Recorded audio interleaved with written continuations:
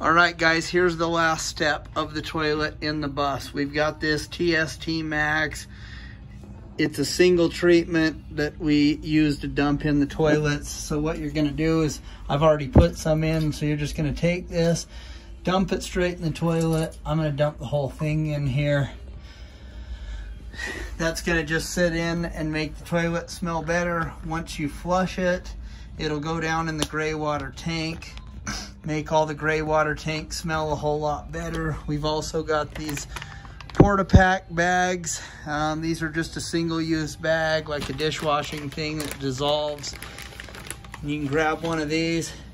You want to drop it right here, and that thing will dissolve. It'll make the toilet smell better. It'll also go down into the gray water tank.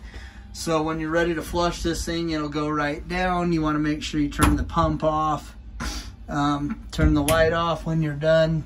But this is what's gonna make the bathroom not stink.